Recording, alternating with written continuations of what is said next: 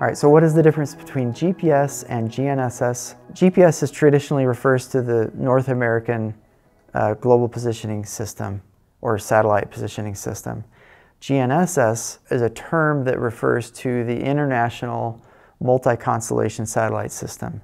So GNSS typically includes GPS, GLONASS, BeiDou, Galileo, and any other constellation system. So when people typically refer to GNSS, they're referring to use of all available satellites for positioning, whereas historically GPS refers to only the North American Satellite Constellation System.